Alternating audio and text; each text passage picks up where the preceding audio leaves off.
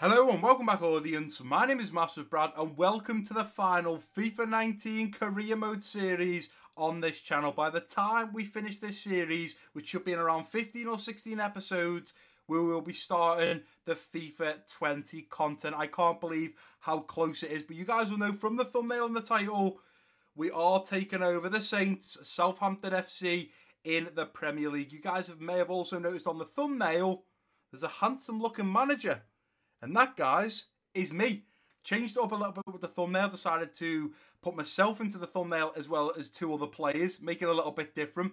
And I can also confirm, a lot of you have been asking, Brad, are we going to see Facecam in FIFA 20? Well, what I can tell you guys is certainly not the start of this Saints career mode, but towards the end, there'll be one or two episodes that will include Facecam. And the reason I'm doing that is so in this FIFA 19 series, I can practice learning to first of all record with Facecam practice how to edit with Facecam, and also make sure that it's lined up nicely with the actual gameplay itself. I'll be using this time to practice, so hopefully then in FIFA 20 I can incorporate Facecam non-stop, so it'll be in every single episode. But certainly at the start of the FIFA 20 career mode, guys, or whichever career mode we do, whatever team we're at, there won't be Facecam, but I'll certainly be throwing the odd episodes in there with it so I can get used to it. I'll also put on screen now something that I put on the community page when I confirmed I was going to be Southampton's manager for the final FIFA 19 career mode series. I did also confirm that I will be using Facecam, whether it's in the middle, whether it's at the end. It certainly won't be at the start. We want to get things kicked off nicely, and I don't want it where it's delaying us. I want to get the series rolling, and then we can look at bringing Facecam in. Because, guys, from the time you're seeing this video, which should be the 14th of August, another 15 videos from me and FIFA 20 will be dropping, which is just absolutely unbelievable. I can't believe FIFA 20 is only five or six weeks away now. That is unbelievable. I'm so excited to get the FIFA 20 content kicked off. But the reason we are taking over the Saints is as I put my, or click my fingers and put on screen for you guys now, the straw poll you can see I asked what team should we manage for our final FIFA 19 career mode. Liverpool and Manchester City are not included as we have already done these teams or done career modes with both of these teams. Obviously, we've done City in the one season wonder and we obviously done three seasons at Liverpool. I didn't include these two teams just in case you voted for them again because I know what some people are like. I see lots of comments saying, since Brad's a Liverpool fan, vote for Manchester United. I am grateful I don't have to do Manchester United. If they'd have won, well, I'd have done them. Fair is fair. But I just know that some people wanted me to do United just because I'm a Liverpool fan. And as you guys know, Liverpool fans playing as Man United or Manchester United fans, they just don't get on. It'd be like mixing coffee with tomato sauce. It just doesn't go. But that leaves Southampton at the top. You'll be able to see on screen now, Southampton won with eight votes. We have Manchester United in second with six votes. In third place, we have Bournemouth with five. And then as we move down to fourth, we've got a joint position fourth with Chelsea, Leicester and Wolves on two votes. And then in fifth position, we've got joint Arsenal, Cardiff City, Everton and Spurs with one vote. Whoever voted for Everton, you cheeky bugger. Obviously, I don't want to be doing Everton either because, of course, I'm a Liverpool fan. But whichever team would have won, guys, I would have been doing no problem. But you guys have voted, you guys have spoken, and it does mean we are going to be taking on the Saints, who I believe are a mid-table team, do need a little bit of rebuilding, do need strengthening in some positions, so it will certainly be good to take over Southampton and potentially do what we've done at Liverpool. Whether we'll be able to get, you know, top six, top eight, top ten in the first season, I'm not too sure. I am going to only be doing one season, guys, because by the time we finish this series, at the end of season one, I will be starting the FIFA 20 content. But to make it a little bit of a challenge for myself, first of all, we're not going to take the 30% increase. We're also not going to take the global transfer network. We're going to leave them completely blank and we're going to advance through to the next page. Obviously, we just mentioned earlier on that we will be taking over Southampton and it stands like this. We have a transfer budget of £39.5 million. The club worth is £863 million. We play at the St Mary's Stadium. We have a white and red striped home kit and we have a blue and yellow away kit. We're sponsored by Virgin Media. We can see the domestic success is medium, continental success is low, brand exposure is medium, financial is high, and youth development is also high. Now, as we talk about the youth development, some of the players that Southampton have had and come through the rankings have been unbelievable. We know that we've had the Liverpool man at the right back, Nathaniel Clyne, who sadly was great at Liverpool at the start. He was then put out from inj- injury. Sorry, he was then put out to Bournemouth on loan. He hasn't really got back into the team, but certainly a great player when we first signed him. They also took Toby Alderweireld, some of you may not know this, but Spurs' centre back, Toby Alderweireld, was on loan from Atletico Madrid to Southampton. And the reason Spurs bought him is because of how well he defended at Southampton. So you may not have knew that, but you certainly do. Now, another player, now obviously most of these players I'm going to talk about have probably gone to Liverpool or have been at Liverpool because realistically, that's the way it used to work. The player would do well at Southampton, they'd then be put on an escalator, which come all the way to Liverpool, and then we sign them because the next man is Virgil van Dijk. We signed him for 75 million, and what a bargain that was. Southampton thought they were getting great money for him. It was great money back in the day, but now he's easily a centre back worth well upwards of 100 million. The next one is a left back, went to Manchester United. That man, the Englishman, is Luke Shaw, another great player. We've got another Englishman. In fact, they've had a few Englishmen. We've got the Ox, who now is at Liverpool. He used to be at Southampton. Theo Walcott, another Englishman who's now out at Everton, did go to Arsenal from the Saints. We've had the big man at Real Madrid who certainly doesn't get on with Zidane right now. You guys have called it. Gareth Bale, the Welshman, was absolutely unbelievable at Southampton.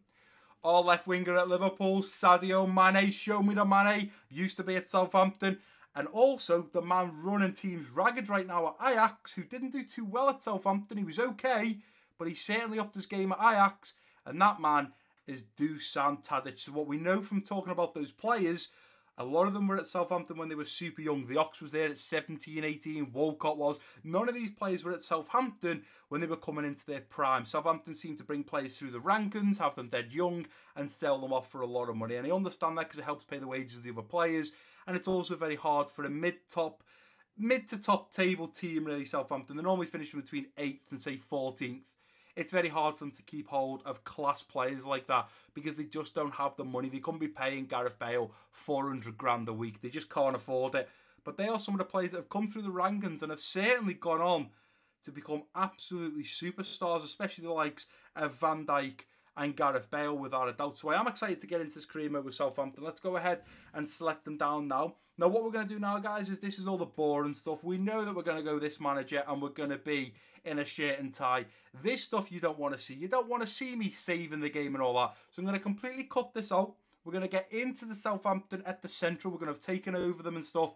And then we'll start building the foundation of this Southampton team. But what I'm most excited for is me and the Saints lads. Now I thought I'd best leave this here. Obviously you guys have seen this page plenty of times. We're going to stay on Legendary, 5 minutes each half, currency in stale and transfer window is enabled and obviously European competitions is enabled, although we're not in either of them.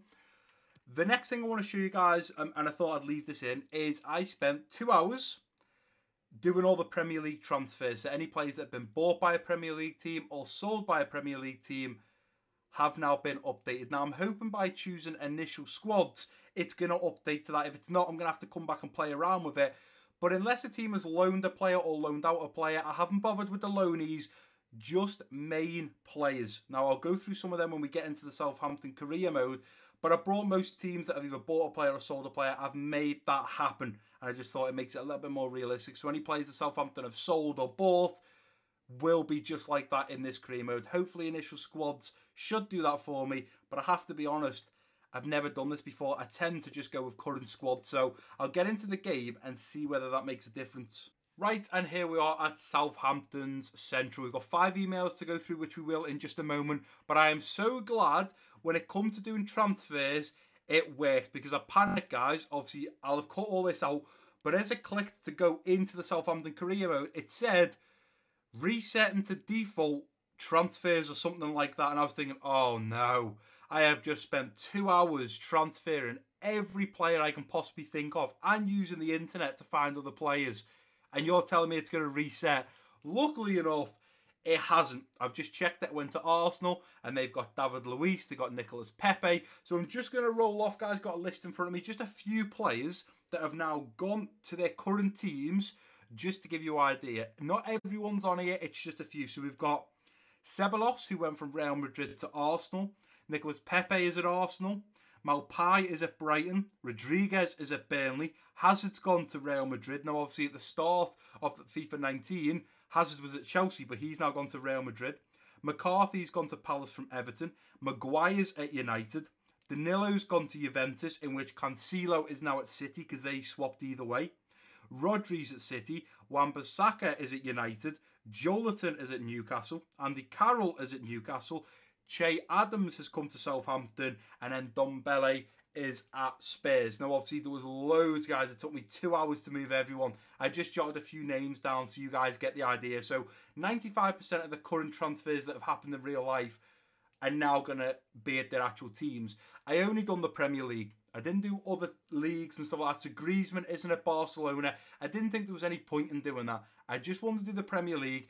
And any Premier League teams that sold players, I sold them to their correct team and anyone that bought players, I bought them to the correct team. So, for example, like if you look at Spurs, they bought Ndombele, so I brought him to Spurs, but they got rid of Kieran Trippier to Atletico Madrid. So I've sent Kieran Trippier out to Atletico Madrid, and if we just check, we could use Trippier for an example. If we are to search for a player and we put in Trippier, oh, Kieran Trippier, he should be, there you go, Kieran Trippier is out at Atletico Madrid, which is his real team that he's at right now. But at the start of FIFA 19, if you started the Spurs career mode or any career mode, Kieran Trippier is at Spurs. So every Premier League transfer, pretty much 95% of them, has now happened. So if there's any players that you're thinking, Brad, why are they at the club? It's probably because they've actually gone.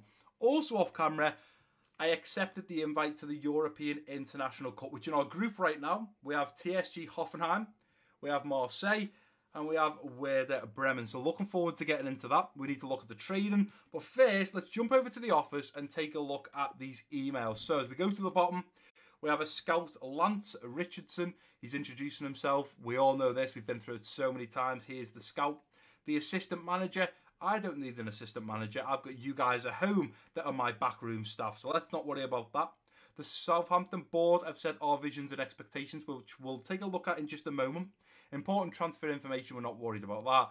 And obviously, the board saying that obviously we've just joined the European International Cup. The players have just come back after a very draining and demanding season. So this is where we just give them a run out in pre-season and get them back to their ways. So let's go ahead and delete that. Our vision and expectations. Let's have a little look at the manager objectives. Now, you guys might be thinking, are you going to do fan objectives for this series, Brad? The answer to that is no. I'm leaving fan objectives till FIFA 20. But as we look at youth development, which is a high, they want us to sign two youth players to the senior team in the same season they were scouted, play them in at least 10 matches, or either as part of the starting 11 or coming on as a sub. Again, we're probably not going to achieve that. I don't know how much I'm going to use the academy right now. This is where you guys have got to get involved down below in the comment section and let me know what you want me to do with Southampton and what path you would like me to take. They also want me to grow Tooth Youth Academy players by at least 10 overall points and as soon as they've grown, play them in five matches. So that is difficult. If we sign someone at 68 overall, we need to get them to 78 overall and then play them in five matches, either as part of the starting 11 or coming on as a sub, which would probably come on as a sub. It's possible, but we'll have to wait and see what do you guys think about a youth academy. Now, I do have a little bit of a secret weapon. I have a Southampton fan who is helping me and guiding me in the right direction. But I still want you guys at home to get involved, help me with transfers, formations, tactics, all stuff like that. Drop your comments down below, letting you know if you you know if I come up with an idea. Is it good? Is it bad? Have you got a better idea for it? Let me know if you've got any challenges you want me to do. Let me know down below. As we move over to brand exposure, sign one crucial first team player assigned to the midfield or forward position. Well, funny enough, one of the positions we're going for is a striker. So that should be no problem. Long term, it doesn't matter because within three seasons, we're only here for one. Continental success, there's no objectives. It doesn't matter what we do in the Community Shield if we were in it. It doesn't matter what we do in the Carabao Cup. They're not bothered. Domestic success. They want us to finish mid-table. We're currently obviously 16th just because it goes alphabetical order. Mid-table, I'm probably going to say, guys, is realistic for Southampton. I'll be happy if we get in the top 10. I'll be over the moon if we get in top 8.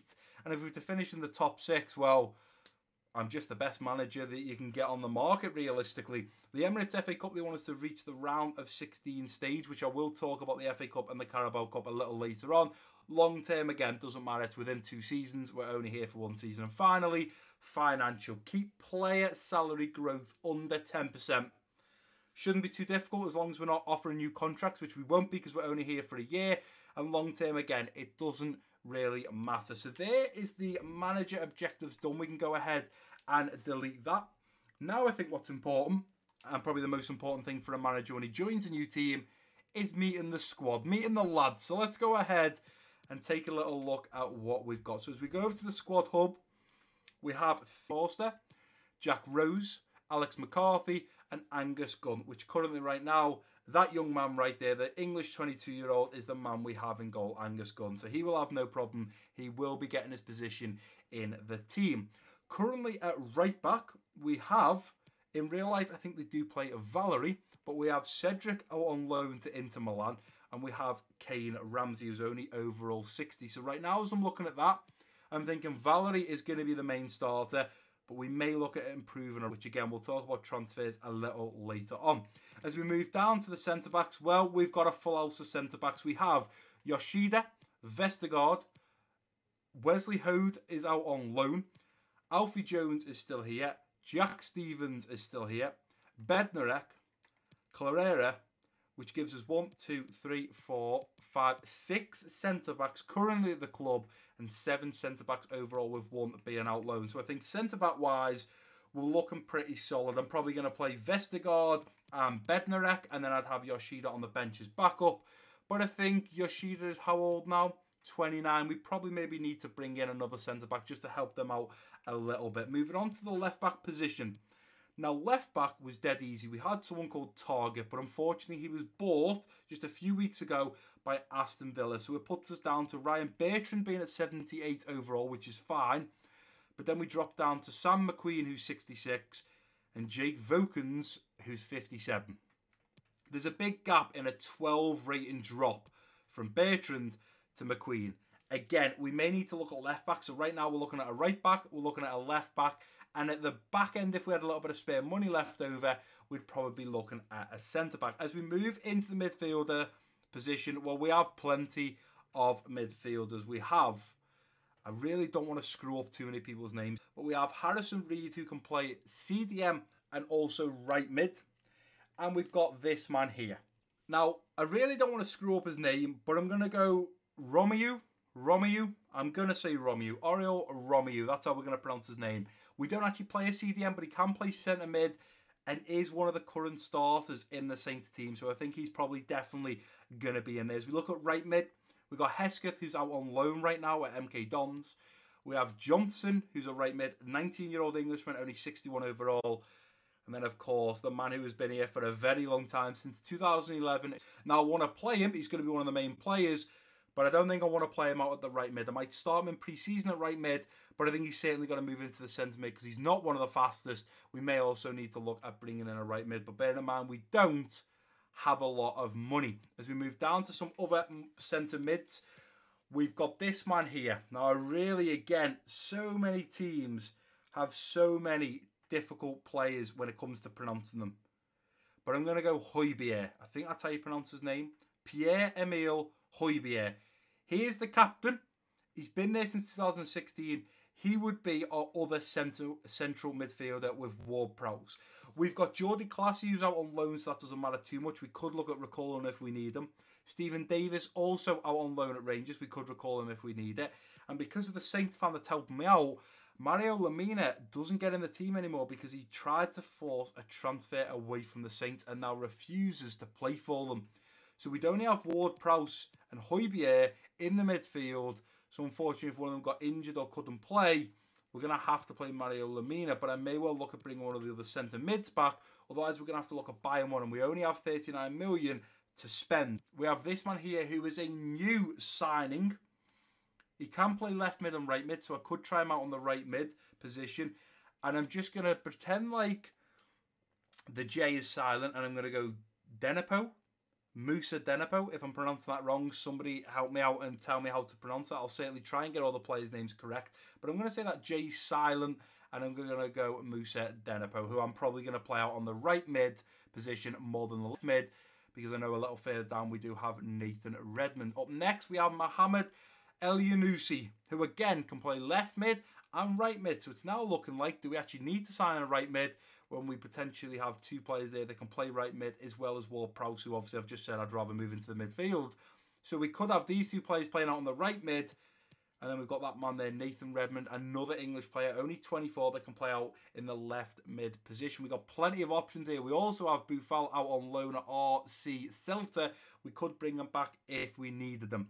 Moving forward, we have the central attacking midfielder roles. We have Callum Slattery and we have Stuart Armstrong. Again, both of these can play centre mid, so I may well drop them back into the centre mid so we don't have to bring Davis or Clasie back. And we can have Højbjerg and we can also have Who's the other central midfielder? Oh, Ward Prowse, and then we can play Slattery and Armstrong. The only problem is with Slattery, he's quite low in the overall right now, so Armstrong is probably more favoured to get into that central midfield position. As we move forward, we have one right winger and Josh Sims, but luckily enough for us, he can play right mid. So I'm going to say now we probably don't need to sign a right midfielder. We've got plenty to work with there, and that is exactly what we will look at doing. And we move on to the strikers. We've got four of them. We've got Obafemi, I want to say that's how you pronounce his name. Danny Ings, Che Adams, Marcus Barnes. Sorry, we've got more. Shane Long and Carrillo. Now, Carrillo's out on loan, so don't worry about him. It stands right now is we will be playing Danny Ings and Che Adams, and then we'd have Shane Long as a backup. We could look at putting Obafemi in there for some of the cup games. We could look at putting Marcus Barnes out on loan. We've met the lads. We've seen where the positives and negatives are amongst the team.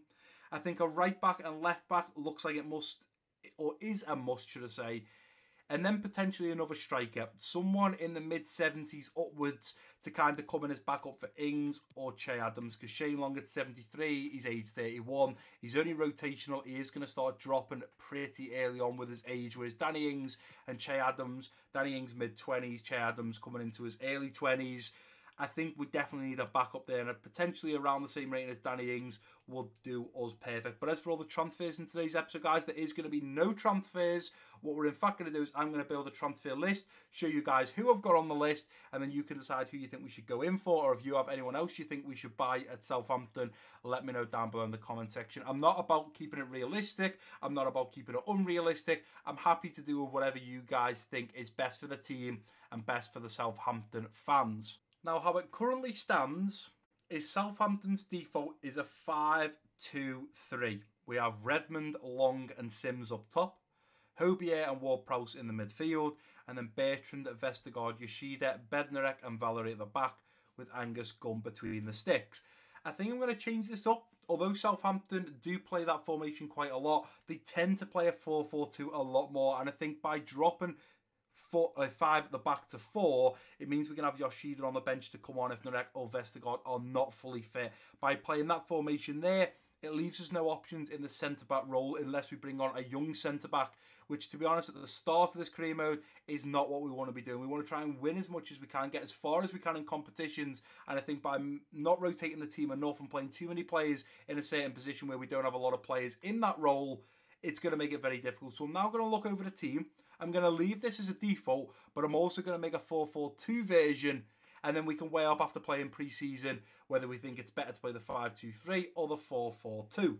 Right, so you guys have just seen the 5-2-3. I've now made a 4-4-2, but the only change I've done to the 5-2-3 is I've brought Romeo in to the central midfield to play alongside Højbjerg and put Ward Prowse to the bench. If we flick across to the 4-4-2 flat, We've got Ings and Che Adams up top, Redmond, Højbjerg, Romeo, and Ward Prowse in the midfield. I'm trying Ward Prowse over on that right mid position for the first game.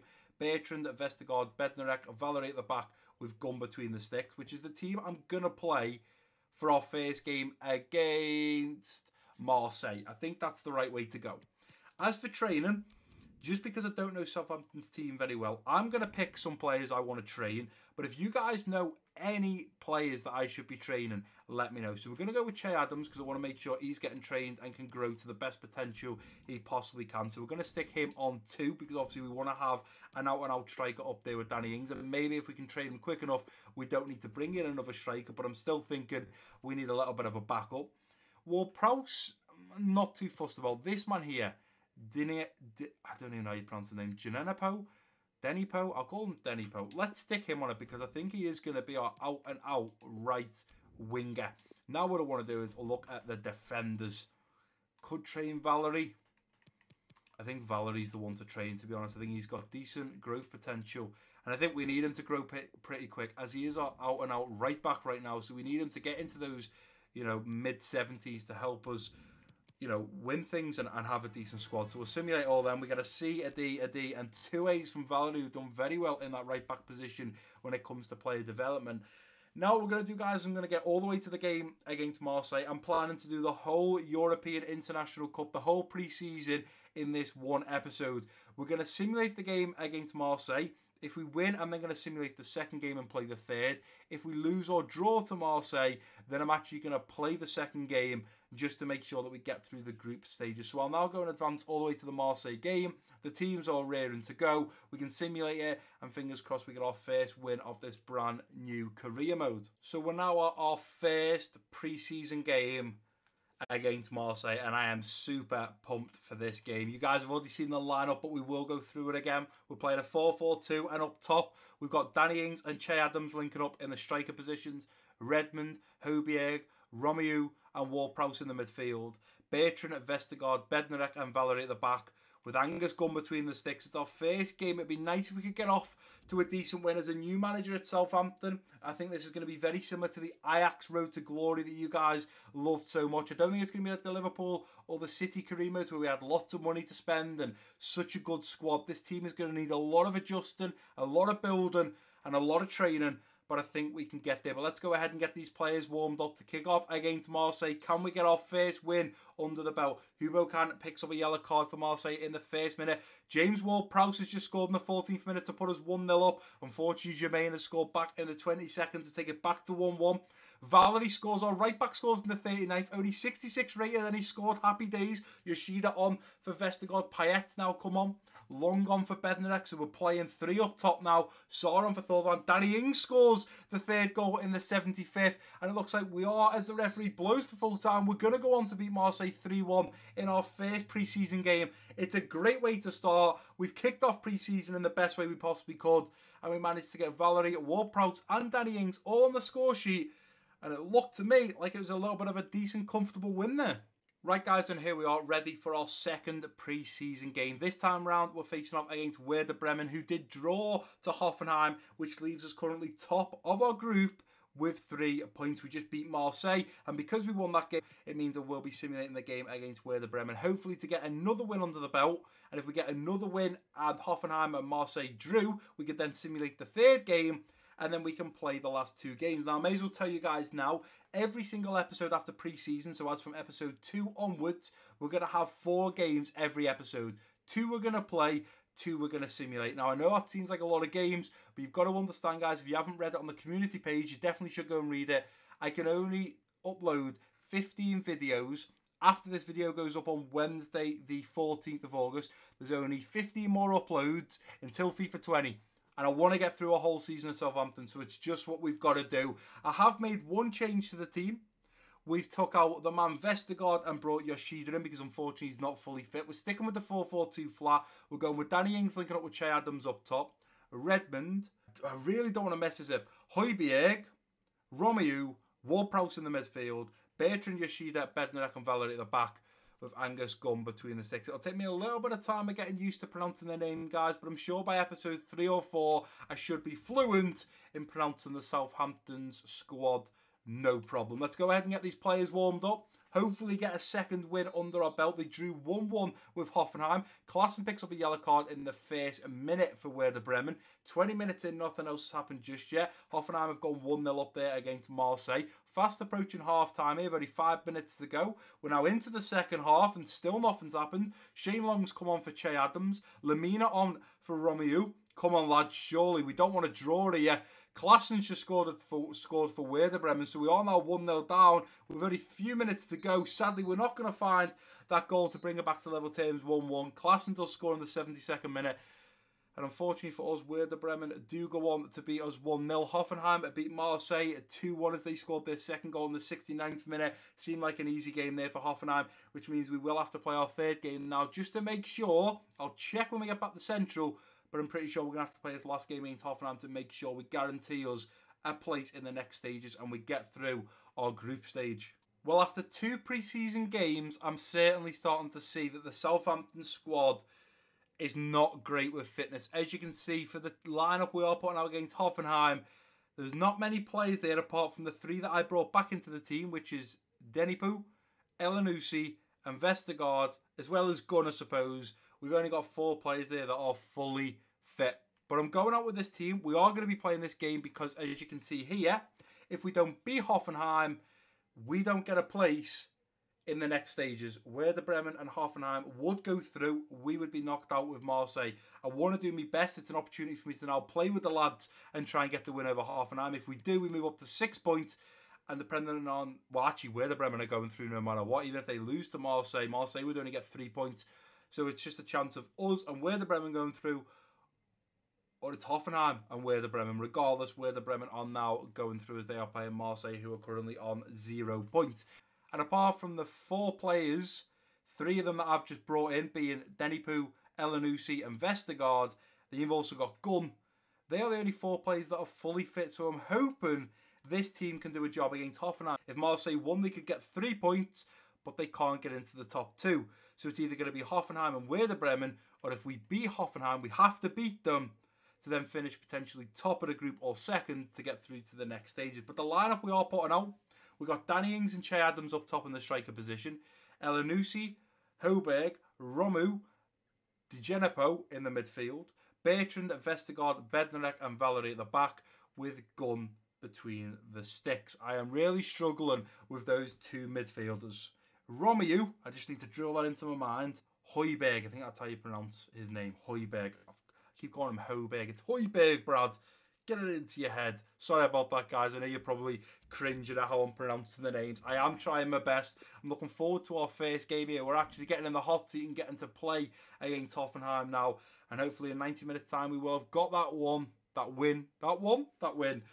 And we will be getting through to the next stages of the pre-season tournament. It's our first official game in charge that we actually get to play. We had to control the players. And I'm just hoping we can get the win because draw or lose, and we are out of the European International Cup. We're out of pre-season, which isn't the worst thing that could happen. If we're out, we're out. It gives us a couple of weeks till the pre uh, till the Premier League kicks off. But I'd like to get this win, but it'll be it'll be good for us now to get this kicked off with Danny Ings. We can get control of the players, see where the strengths are in the team, and hopefully, most importantly, we can get the win and continue our pre-season journey. The Djenepo isn't in behind. Coming forwards now. Ball into the middle. We're going to get this now with Elyounoussi. Going to play it out from the back. It's a terrible pass. Bertrand's going to have to try and win this. Let's get a foot in here, lads. Big save there from Angus Gunn. They're going to follow up. It's in the back of the net. It's 1-0 Hoffenheim. We defended shockingly there. Absolutely terribly. I've only got myself to blame. Angus Gunn made a great save, but unfortunately, only palmed it away. This shot here palmed it into the path of the Hoffenheim man. Who then hits it very hard. It comes in off the crossbar. To shame it was a bit harder. It probably would have went over.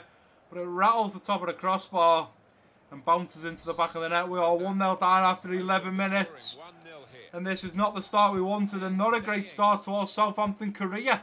I think we are going to be going at half time here, ladies and gentlemen. 1-0 down. And I'm not really sure what the game plan is right now. Bednarek intercepts that one. And we are going in, sadly, 1-0 down to Hoffenheim. It's not quite the result we wanted to be going in with, I think. Say in the last 10-15 minutes, we've started stepping it up. I think realistically, I'm struggling just pronouncing names, which is putting me off a little bit. So I am going to now look at making some changes. I'm going to take Højbjerg off and bring on... I'm going to bring Armstrong on in the midfield. Later, probably going to bring Ward-Prowse on for Romeu.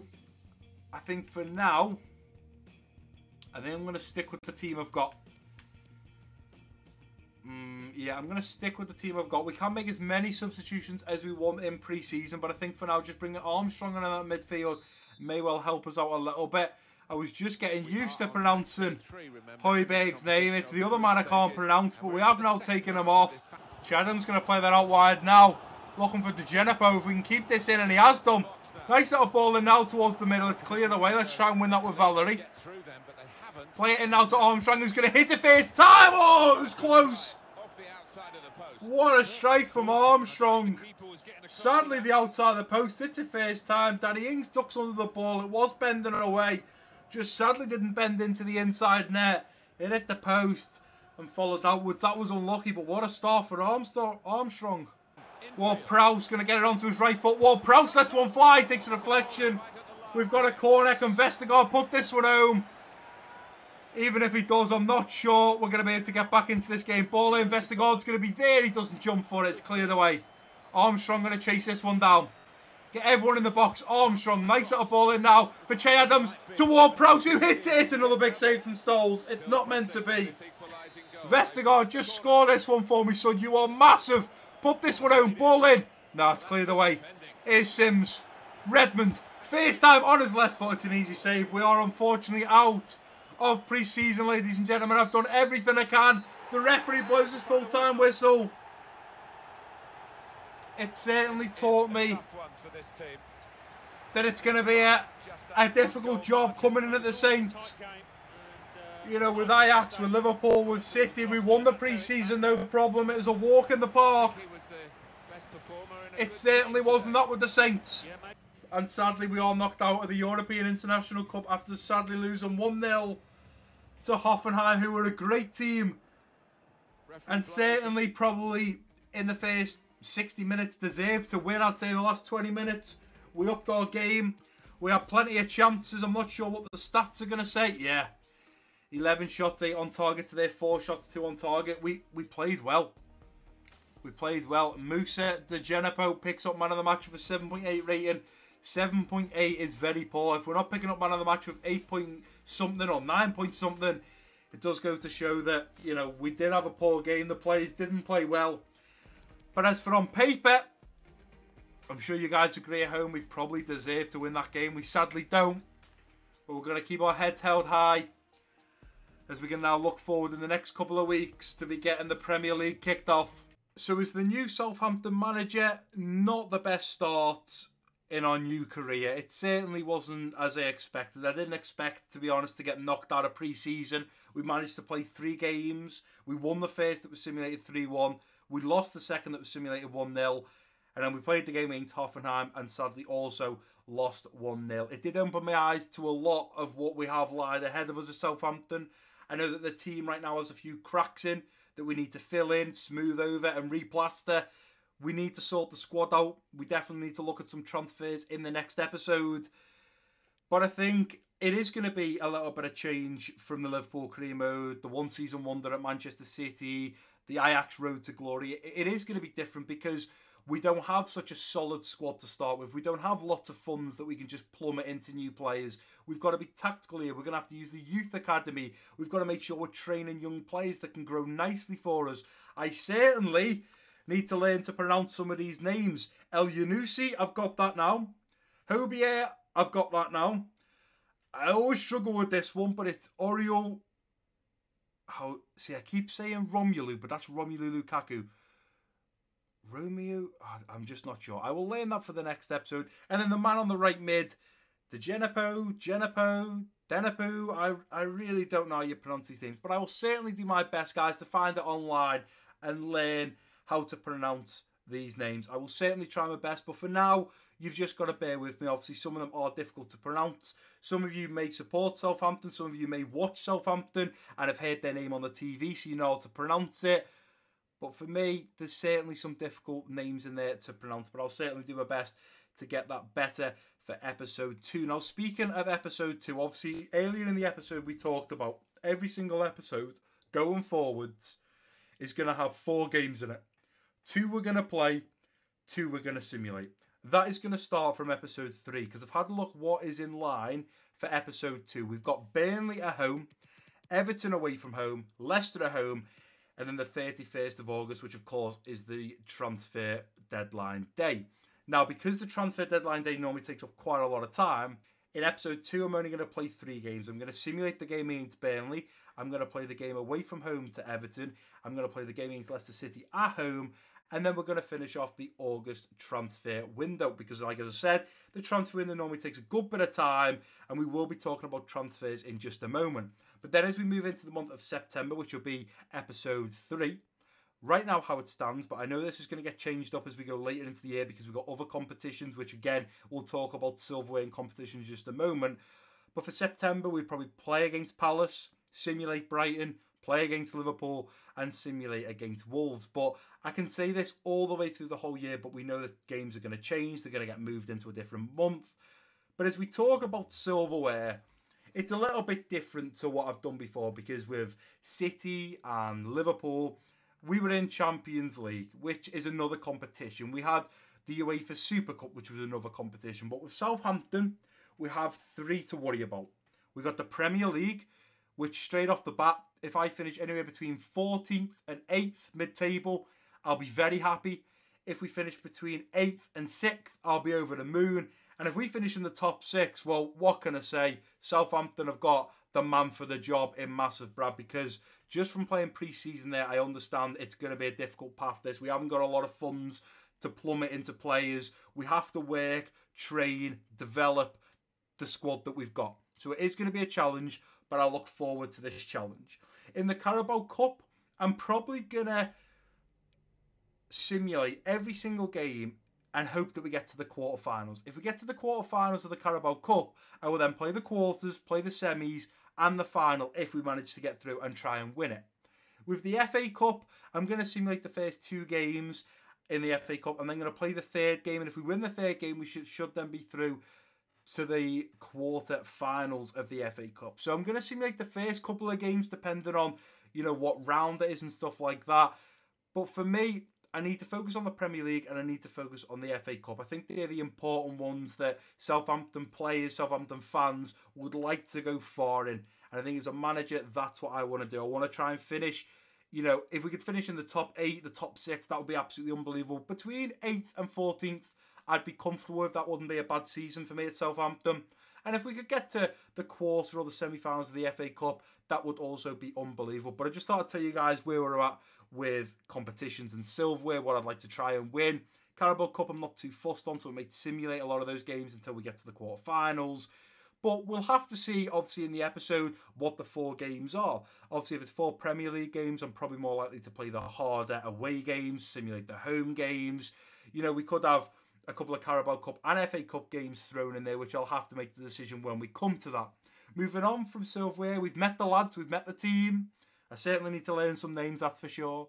I've told you about doing face cam. Obviously, one of these episodes towards the end of the season is going to have face cam, one or two of them. We've just talked silverware and competitions.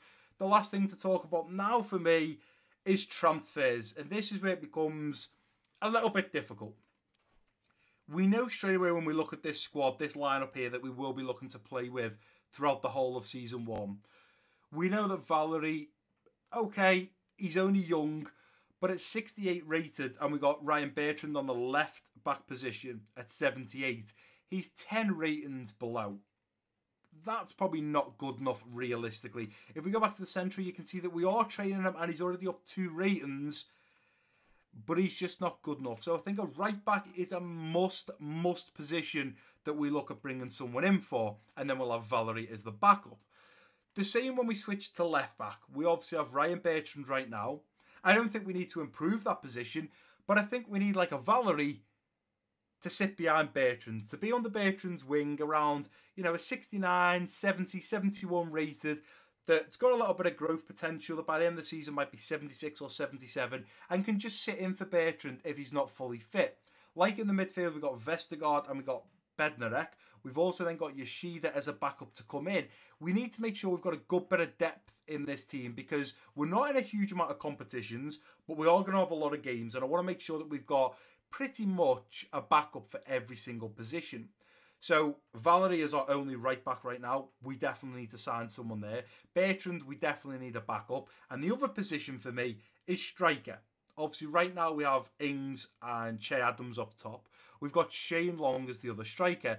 For me, Shane Long, 31 years old, 71 overall rated, he's just not good enough. We need someone up top with either Ings or Che Adams, and then Ings or Adams to come off the bench as a bit of a super sub and try and do something for us. Shane Long for me is just not that. I want him to be like our fourth striker if we, you know, we can play him in the Carabao Cup or something like that. So what we're gonna do for the sorry, what we're going to do over the transfers, a little bit different this time around, guys. want to try new things with different career modes. What you'll see here is some right backs and some strikers. Go down to the description and comment section now and vote for which right back you'd like me to sign in episode 2. We'll go through the right backs, but there's going to be a second straw poll regarding the strikers. So I have picked some right backs and some strikers. A few of them being realistic and have been linked with Southampton, and a few of them just out there because I think it might be a good option. You're going to vote on the straw poll. Whichever player wins, we're going to sign. If there's some reason why we can't sign that player, whoever won second on the straw poll is then going to be signed. But you guys are going to choose the right back and the striker. But what I also want you to do is drop some comments down below about left backs. I'm not going to do a straw poll on left backs. I just want to see you guys recommend me a load of left backs. And if you're scrolling through the comment section now and you see someone's recommended a left back and you're like, do you know what, he's good, you should get him, hit the thumbs up on their comment, comment on it saying this is a great player or this is a, a good option for Brad to bring in. And let me know some left backs. If you guys don't let me know any left backs, I'll take it upon myself to sign one. But for now, let's jump back to the right back position. We've got Kevin. Ah, here we go. Here we go. Massive Brad in the tongue twisters again. Kevin Mabu. Ma, um, how are we going to pronounce this? Kevin Babu? Is it maybe a, a silent M? Kevin Babu. We'll go with Babu. Right back plays for BSC Young Boys. Again, read a lot about him. He's got great potential and he could be a great option to come in and sit ahead of Valery. Moving down the list, ah, this is where it just gets ridiculous. So, just on how I think this is pronounced, Joachim Melee. I'm going to say Melee. And even to search for him, because his, if you look at his surname, the A and the E is together, you can't search for that. So I had to find, the, find him when I search for him. Joachim, I had to put that in to find him. He's from KRC Genk. And I'm going to say his name is Melee. That's what we're going to say. If I'm saying any names wrong in today's episode, guys, just correct me down below. Kyle Walker Peters. Now, unfortunately, I added him to the list before. He's now joined Fulham. So he is going to be removed from the list. So the only three players now in the straw poll are going to be Kevin Babu, Melee, and Reece James. Now, the reason I put Reece James in there is because I've never played with him before. He's meant to be a real good up and coming English player. He's meant to be unbelievable at right back, very fast, great at slide tackles, and you can see his summary is acceleration, sprint speed, and strength. And I like that. He's going to be strong, being able to battle people off the ball, and he's got quick speed and acceleration to get off the mark and get up the right side of the pitch. So Reece James is the third and final right back. So you'll find a straw poll down below now with those three players in it. Click the straw poll, vote for one of them, and then in episode two, we will look at buying the highest voted right back. Moving on to the striker position. Now, obviously, I've mentioned, guys, there's no left backs here, so it's your job to find me a left back that's not going to cost too much money. I'd like him between, say, 69 to 72, 73 rated, so he can sit in behind Bertrand, go under his wing. He's got good potential to grow and let me know down below in the comment section. As we move on to striker, a few of these and a lot of the, all the right backs, sorry, I've still got a question mark next to their name. By episode two, we'll know a little bit more about their overall and the price they're going to cost. But the strikers, we've got Iñaki Williams, who has just recently signed a nine-year, that's correct, you heard right, a nine-year contract, nine years. He's there now till 2028. Sounds shocking, but if you go and Google his name, he just signed a nine year contract. The first time a contract has ever been more than six years, and it's for that man there, Iñaki Williams. And I understand why they want to keep him, but I think he needs to go to a different league and he needs to show everyone exactly what talent he's got because he is an unbelievable player. And I'm sure one day he will be in the Premier League. And there's a potential chance that we, Southampton, bring in Iñaki Williams to the Saints. It's a possibility. I don't know how much he's going to cost just yet, though. The next man is Diego Yota. Again, the reason he's in here is he's a player that is meant to be really good, and I've never had the opportunity to play with him. So I thought Diogo Jota from Wolverhampton Wonders, bring him in at the Saints. He's nice and quick, work nicely up there with Che Adams and Danny Ings. I think he could be a great fit for Southampton. Mario Balotelli, again, a man that over the last three or four years is just getting past pillar to post.